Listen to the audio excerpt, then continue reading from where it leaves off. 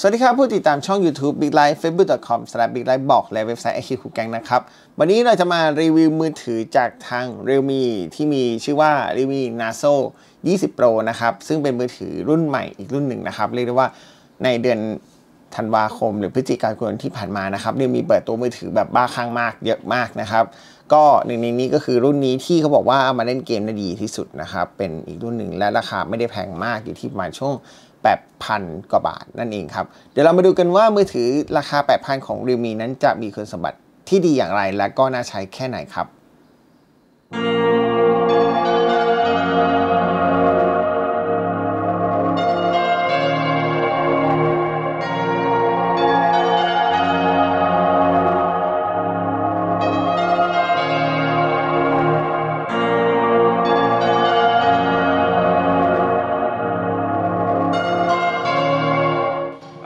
ดี๋ยวเราจะมาแกะกล่องกับ Realme Naso 20 Pro นะครับ ซึ่งเป็นมือถืออีกตัวหนึ่งที่เปิดตัวแต่ว่าผมไม่ได้ไปนะครับ ไม่ได้ไปงานเปิดนะครับ เพราะว่าไม่ว่างจริงนะฮะก็จะมี1นะครับคู่มือนะครับ แล้วก็จะมีเคสมาให้นะครับ ซึ่งเคสอันนี้ก็จะมีเข็มจิ้มสีมาให้ด้วยเคสนะครับ ก็จะมีหน้าตาคล้าย ๆ กับทางออฟมือถือ Realme ในรุ่นของ X2 Pro นะครับท่านที่ผมเคยใช้แล้วก็ X50 Pro นะครับ X50 Pro เนี่ยครับตัวเครื่องนะครับ ซึ่งตัวเครื่องก็ถูกห่อมาในพลาสติกอย่างนี้นะครับ โดย Narzo ก็จะเป็นมือถือแบบนี้นะฮะ ข้างในก็จะเป็นอุปกรณ์ชาร์จนะครับ ก็คือจะเป็น Super Char อ่า Super Dart นะครับ Dart Charge ตัวนี้นะฮะ ก็ให้กำลังที่ค่อนข้างจะสูงอยู่นะครับ แล้วก็จะมีสายชาร์จนะครับของมันนี่ครับ สังเกตว่าจะเป็นสีส้มนะครับหัวเป็นสีส้มแบบนี้นะฮะก็เรียกได้ว่าอุปกรณ์ในกล่องนั้นถือว่าค่อนข้างจะครบถ้วนเลยทีเดียวนะฮะเดี๋ยวเรามาลองใช้กันดูว่านาโซนั้นมีคุณสมบัติที่น่าใช้อย่างไรกับราคาของมันที่ไม่ได้แพงมากครับสำหรับ Realme Naso นะครับก็จะมีดีไซน์โดยประมาณแบบนี้นะครับ ใครเคยเห็นตัว Realme 7 5G ไปก่อนหน้านั้น ก็จะรู้สึกว่า ทำไมมันคล้ายกันจังเลยนะฮะ ก็แน่นอนการออกแบบมันก็คือจะมีกล้องเป็นแบบตัวของ dot display อยู่ข้างบนนะครับ แล้วก็ปุ่มกดก็จะอยู่ข้างล่างในสไตล์ของมือถือที่เป็นอ่า Android ทั่วไปนะครับ แต่ความพิเศษของเจ้านาโซนะครับนั่นก็คือเรื่องของสีสันของหน้าจอที่จะดูฉ่ำกว่าชาวบ้านชาวเมืองเขานะครับ แล้วเดี๋ยวเราไปดูกันว่าในความฉ่ำของหน้าจอแล้วถ้าสมมติเราเอามาดู YouTube ในความละเอียดสูงนั้นจะเป็นอย่างไรกันครับ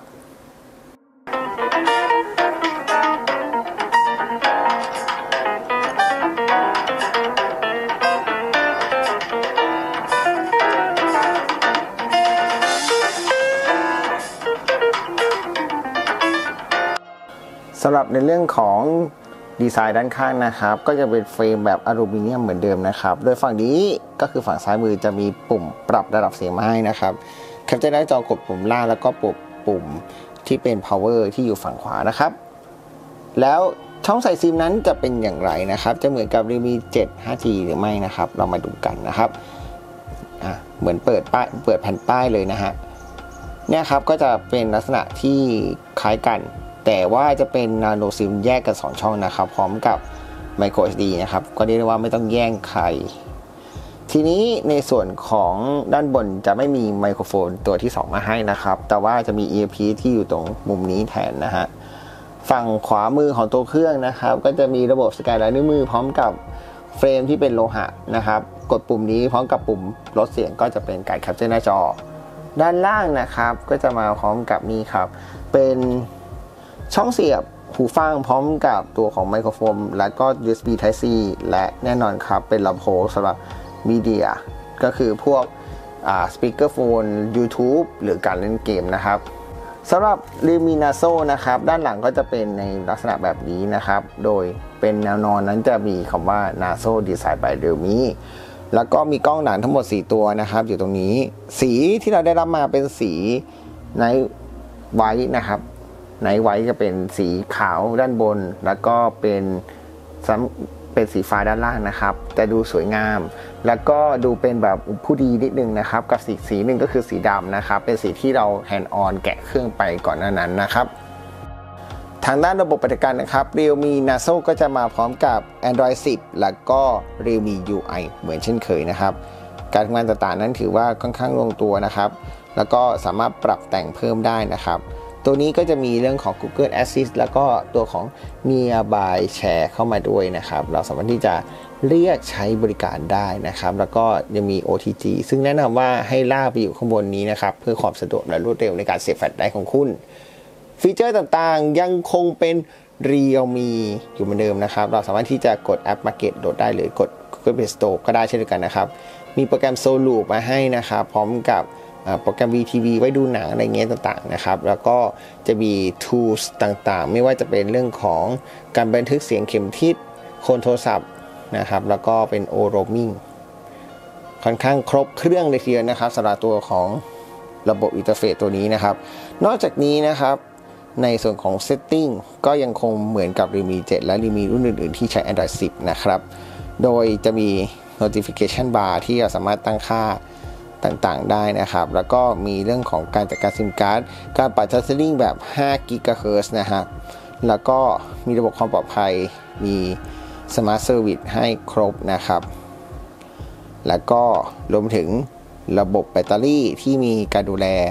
ต่างๆ ที่ได้ครบ ก็เรียกได้ว่าเอาง่ายครบเครื่อง แถมสำคัญครับ ทั้ง Realme 7และ Realme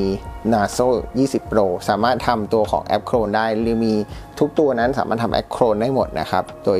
สามารถโคลนได้เฉพาะแค่ 1 2 3 แต่เราสามารถดูได้ว่าแอปพลิเคชันไหนสามารถโคลนได้นะครับ จากตรงข้างล่างนี้นะครับ ก็จะมีเพียงแค่นี้จะมี Skype Telegram Viber มีแชท Zalo นะครับ แล้วโปรแกรมพวก Messenger ต่างๆ สามารถทำได้ Facebook ทำได้ Line ทำได้ครับ แล้วก็สามารถที่จะทำ Split Screen ได้นะครับ Split Screen นะครับก็จะมีเซนเซอร์คือเราสามารถที่ใช้ 3 นิ้วเนี่ยครับลากแบบนี้ก็ได้นะฮะนี่จะลากยากนิดนึงนะฮะนี่จะแบ่งเป็นอย่างนี้ครับ แล้วก็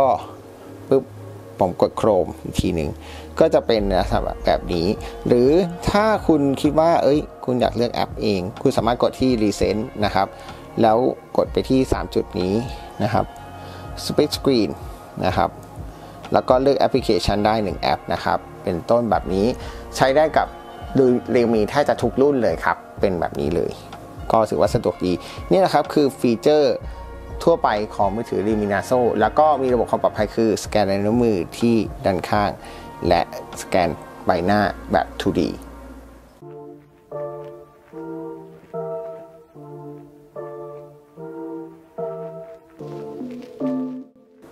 สำหรับสเปคกล้องนะครับ Realme Narzo 20 Pro ก็ให้กล้องหลังขนาด 48 ล้านพิกเซล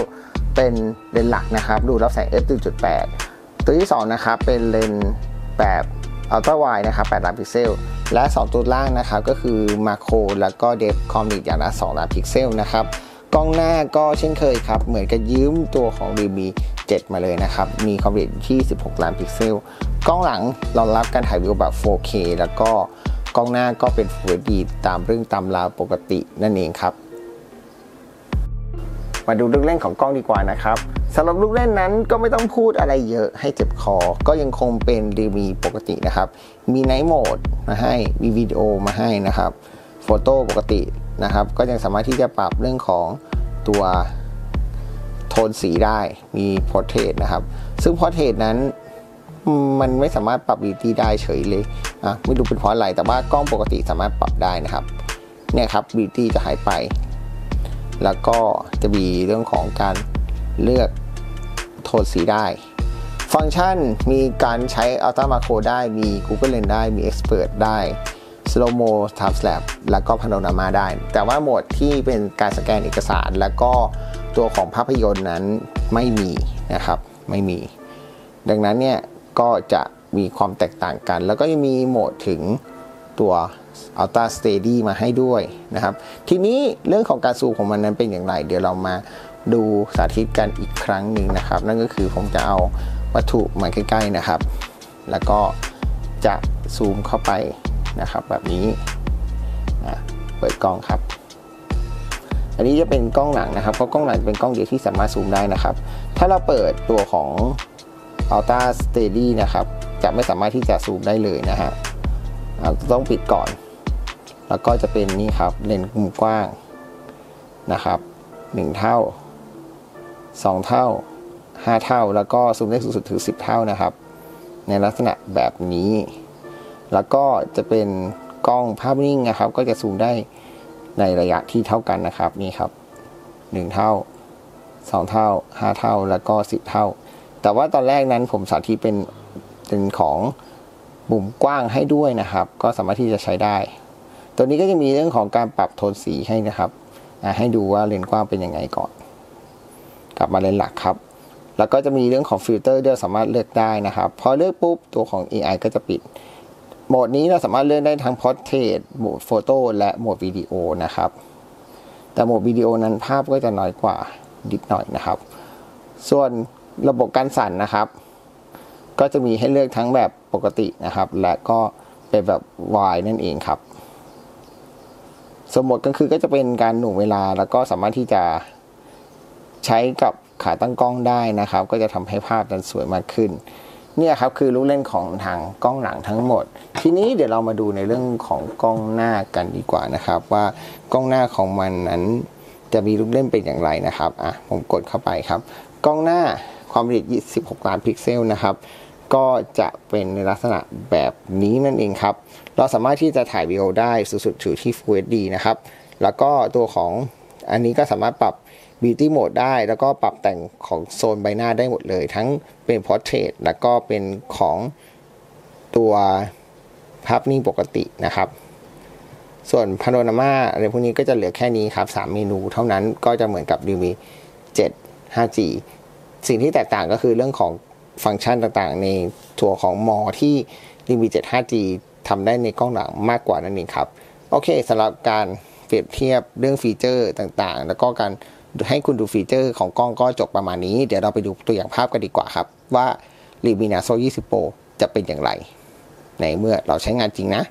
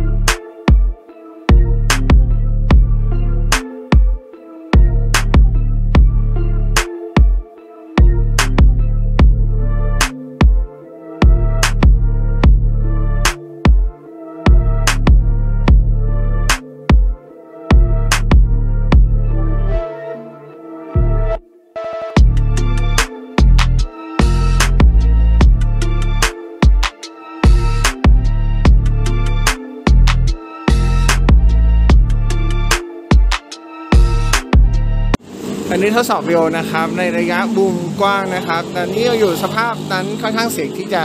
ดัง เพราะว่ามันเป็นสภาพภายนอกนั่นเองครับ อันนี้ทดสอบในการซูมนะครับ เราจะซูมไปที่ป้าย Susco นะครับเป็นระยะ2เท่านะครับ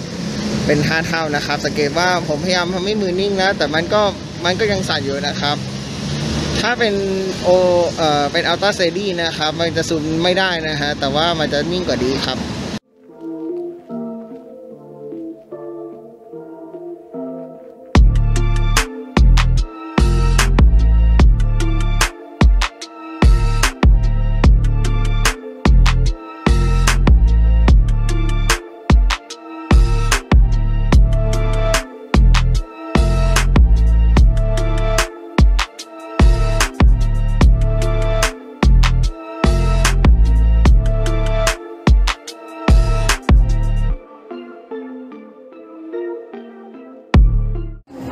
ดลองถ่ายโดรนนะครับอันนี้จากเรมีนาโซ20 Pro นะครับ ซึ่งอันนี้จะไม่มีระบบป้องกันภาพสั่นไหวไม่มีการละลายหลังเกิดขึ้นนะครับ สิ่งที่ได้มาก็คือภาพเรียวลุ้นล้วนนะฮะก็คือจะไม่มีการละลายหลังทั้งสิ้นเลยสำหรับในเรื่องของประสิทธิภาพครับ Realme Naso 20 Pro ก็ทำได้อยู่ที่ 298,813 คะแนนนะครับจาก อันตูตู้ถือว่าทำได้ดีไม่แพ้กับมือถือตัวไหน ที่เปิดตัวไปก่อนหน้านี้เลยนะครับ และแน่นอนสเปคของมันก็เรียกได้ว่าค่อนข้างจะมาครบเครื่องไม่ว่าจะเป็นคุมพลัง MediaTek G95 นะครับ มาพร้อมกับกระจอนะครับ m e l i G96 MC4 นะครับ แรมเป็น LPDDR4X ความจุ8กิก ความจำในตัว 128กิก สามารถเพิ่ม microSD ได้นะครับ Wi-Fi 802.11 AC Bluetooth เวอร์ชัน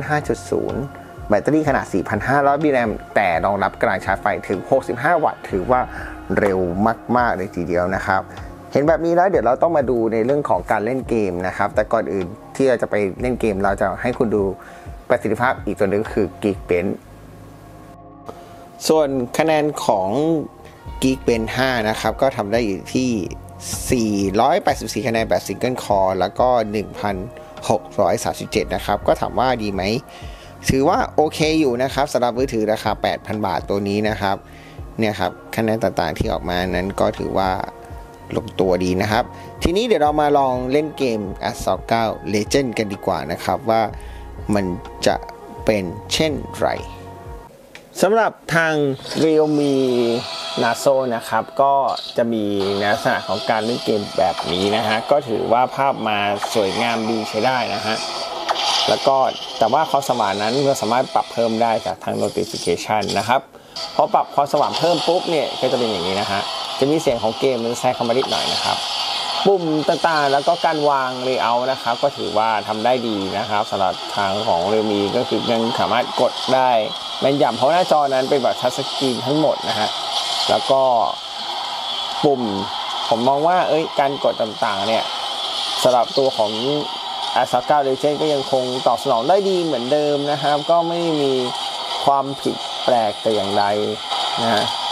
แล้วก็เรียกได้ว่าเป็นมือถือตัวหนึ่งที่ไว้เล่นเกมได้ดีนะฮะเนี่ยพอเข้าเกมปุ๊บเนี่ยสุมพลังอย่างตัวของ MediaTek Helio G95 นะครับ ก็ยังคง ให้ประสิทธิภาพที่ดีใช้ได้ แต่ไม่มี 5G ถามว่าบางคนซีเรียสไหมก็ไม่ต้องซีเรียสมากนะเวลานี้ก็ได้ครับ ก็ใช้ไปก่อนก็ได้สำหรับ 4G ครับ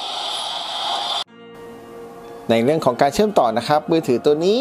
จะรองรับเพียงแค่ 4G เท่านั้น แล้วก็ Wi-Fi นะครับ802.11 AC นะครับ ทีนี้เราลองมาเชื่อมต่อกันกับความเร็วอินเทอร์เน็ตนะครับ ซึ่งตอนนี้เราอยู่ย่านใจเกินเมืองแล้วก็เป็น 4G นะครับ เป็นค่ายของทาง d t แทนะครับ ก็ความเร็วจะประมาณนี้อยู่แล้วนะครับ ประมาณ 20-30 นะครับ ก็ถือว่าไม่ได้สูงในมากมาย ค่าปิงเพื่อเทียบกับ 4G ค่ายอื่นอาจจะสูงนิดหน่อย แต่ว่าถ้าเทียบกับเรื่องของ 5G แล้ว มันค่อนข้างจะแตกต่างกันพอสมควรนะครับ โดยตอนนี้วันที่ได้อัดคลิปนะครับ d t แท 5G นั้นเปิดให้บริการแล้วนะครับ แต่เป็นการทดลองอยู่นะครับ ในคลื่น 700 นะฮะ ก็สามารถใช้งานได้กับมือถือที่รองรับทั่วไปนะครับ แล้วโปรแกรม e n p e r นะครับ ก็จะบอกในลักษณะที่เรียกได้ว่าคล้ายคลึงกันนะครับ เดี๋ยวลองดูกับ e n p e r นะครับสำหรับโปรแกรม e n p e r นะครับ เราจะใช้เว็บไซต์ในการเทสนะครับ คือ itcookie.com จะมีปลั๊กอินของ e n p e r ติดอยู่นะครับ นี่เราสามารถที่จะกดติดได้ทันที พอกดปุ๊บเนี่ยครับเราสามารถที่จะดูในเรื่องของการเทสความเร็วได้ อันนี้เรายังเชื่อมต่อกับ 4G อยู่นะครับ ถ้าเป็น 5G ก็จะเร็วขึ้น แต่ว่าขึ้นนี้ไม่รองรับนะครับ จะรองรับแค่ Wi-Fi 5 GHz นะครับ อันนี้ต้องทำความเข้าใจนะครับ ระหว่างตัวของ5 GHz และก็ ตัวของ 5G นะครับ 5G ก็จะเป็นคลื่นความถี่ที่รวมรวมกันหลาย ๆ คลื่น แล้วก็ได้เกิดความเร็วที่สูงขึ้น แล้วก็ข้อ latency ที่ต่ำทำให้การตอบสนองนั้นเร็วมากขึ้นนั่นเองครับเนี่ยครับก็จะเห็นได้ว่าความเร็วในการดาวน์โหลดของอินเทอร์เน็ตจะอยู่ราวๆนี้แหละครับ ไม่ได้สูงแล้วก็ไม่ได้ต่ำจนเกินไปนะครับอีกค่าหนึ่งนะครับก็คือเรื่องของค่า latency นะครับเนี่ย 4G ก็จะอยู่ประมาณนี้ครับน้อยสุดอยู่ที่ 27.5 นะครับ แล้วก็อยู่ เฉลี่ยอยู่ที่ประมาณ 39.86 นะครับสำหรับในเรื่องแบตเตอรี่นะครับ มือถือ Realme Naso 20 Pro นะครับ ก็ทำคะแนนได้อยู่ที่ 11 ชั่วโมง 52 นาทีผ่านโปรแกรมชื่อว่า d i a g o m a n นะครับ ที่จริงไม่ใช่คะแนนนะครับ มันสามารถอยู่ได้ 11 ชั่วโมง 52 นาทีนะครับ ก็ถือว่าค่อนข้างลงเร็วดีใช้ได้นะฮะ แต่นี่ทดสอบจาก 100%ลงมาเหลือที่ 18%นะครับ ก็ถือว่าค่อนข้างโอเค แบตเตอรี่ของมันมีขนาดแค่4,500 นะครับ ส่วนในเรื่องของการจัดการก็จะเป็นมาตรฐานของเรียวมีนะครับ มีทั้งระบบเกี่ยวกับ power saving นะครับ แล้วก็ app management รวมไปถึง performance นะครับ เราสามารถปรับประสิทธิภาพของเครื่องได้ แล้วก็มีเรื่องของ power option ให้นิดหน่อยนะครับ แล้วก็มี ระบบจัดการเรื่องเกี่ยวกับ screen battery optimization ก็คือเรื่องของการจัดการว่า เอ้ยแบตเตอรี่มันควรจะแสดงผลอย่างไรนะครับ ใช้งานอย่างไรให้สามารถคุ้มค่าได้มากสุดนะครับ ก็ถือว่าค่อนข้างที่จะใช้ได้อยู่นะครับสำหรับตัวนี้ แล้วระบบตัวของชาร์จไฟนะครับ เขาบอกว่าตัวนี้รองรับกำลังสูงสุดถึง 65 วัตต์เพราะในกล่องก็มีเจ้าตัว Super Drive Charge ให้นะฮะ ดี๋ยวเราไปดูกันว่า Super Drive Charge นั้น มันจะแสดงอิทธิฤทธิ์อย่างไรครับสำหรับที่ชาร์จนะครับ ก็ตอนนี้คือมันรองรับกำลังสูงสุดอยู่ที่ 65 วัตต์นะครับ ถ้าใช้ที่ชาร์จของมันก็จะทำให้สามารถชาร์จไฟได้ค่อนข้างรวดเร็วนะครับ สังเกตว่าตัวข้างบนนะครับ ตัวสายฟ้านั้นนะจะเป็นสีฟ้านะครับ ก็บ่งบอกให้ถึงว่าเออตอนนี้มันเข้าสู่ระบบชาร์จไฟที่ เร็วแล้วนะครับ โดยเจ้าตัวที่ชาร์จนี้นะครับ ก็เคลมว่ามันสามารถชาร์จไฟได้ประมาณ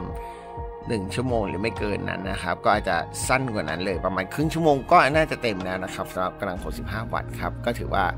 ค่อนข้างรวดเร็ว เพียงแต่ว่าจะต้องใช้ที่ชาร์จติดกล่องของมันนะครับ หรือถ้าใครมีที่ชาร์จของ Oppo อยู่แล้วนะครับที่รองรับระบบ Super v o l t นะครับ65 วัตต์ก็สามารถชาร์จได้เหมือนกันครับ ผ่านพ้นกันไปกับคลิปของ Realme ตัวของ Naso 20 Pro นะครับ ต้องบอกว่ามือถือรุ่นนี้หาได้ทางออนไลน์เท่านั้นในราคาอยู่ที่ช่วงประมาณ 8,490 บาทจะถึง 9ปลายๆโดยประมาณนี้นะครับผมก็บอกราคากว้างๆไว้ก่อนเพื่อให้คุณนั้นไปตัดสินใจ จุดเด่นของมันก็คือเรื่องของความเร็วในการเล่นเกมที่ดีมาก แต่ว่าคะแนนเบสมาร์ไม่ได้สูงอะไรมากมายนักนะครับกล้องมาให้ครบเลยอาจจะมีฟังก์ชันบางอย่างที่หายไปจาก Realme 7ที่ได้รีวิวไปก่อนหน้านั้น แต่ถามว่าโดยรวมแล้วมือถือตัวนี้น่าใช้ไหม ถ้ามองแล้วราคามันถูกกว่า Realme 7 5G แล้วก็มีประสิทธิภาพที่เรียกว่า ห่างกันอยู่ประมาณหนึ่งก็ถือว่าเป็นอีกรุ่นหนึ่งที่น่าสนใจมากๆ ใครที่มองหาอย่าลืมไปกดซื้อได้ที่ออนไลน์สโตร์นะครับพบกันใหม่กับคลิปรีวิวในครั้งหน้าจะเป็นเรื่องราวในนั้นรอติดตามชมในช่อง Big Line นะครับ แล้วก็ขอบคุณที่มีประเทศไทยสำหรับเอื้อเฟื้อเลมินาโซ20โปรเครื่องนี้มาให้รีวิวนะครับ คลิปหน้าจะเป็นอะไรรอติดตามชมนะครับ อย่าลืมกดไลค์ กดแชร์ กด Subscribe คอมเมนต์มาพูดคุยกันได้นะครับ